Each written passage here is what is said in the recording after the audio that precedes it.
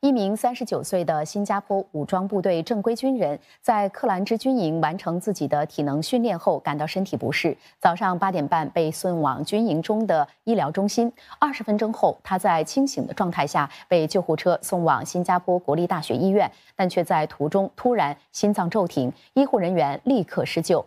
救护车早上九点十分抵达医院，男子在上午的十点五十八分宣告死亡。国防部和武装部队向已故军人的家属。表达最深切的慰问，武装部队也在协助家属度过这段悲伤时期。